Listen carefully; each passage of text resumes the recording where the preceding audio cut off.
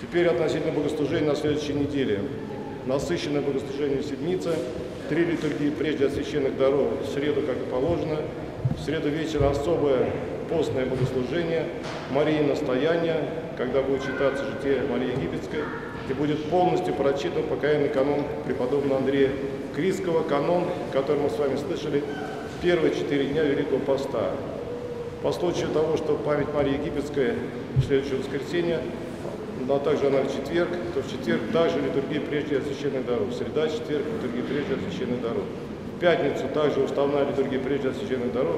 В субботу особое богослужение, похвала Божьей Матери, Акафист субботы, прославление Божьей Матери. Накануне в пятницу будет прочитан Акафист Божьей Матери особым образом.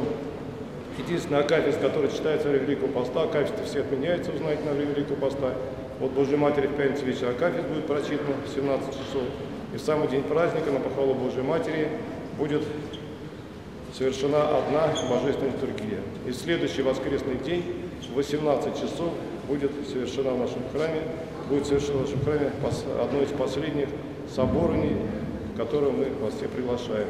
Сегодня вечером в 17 часов последняя пассия, поскольку следующий будет занято соборованием. Евангелиста Марка читаем мы, Страстное Евангелие, Страстям Христовым.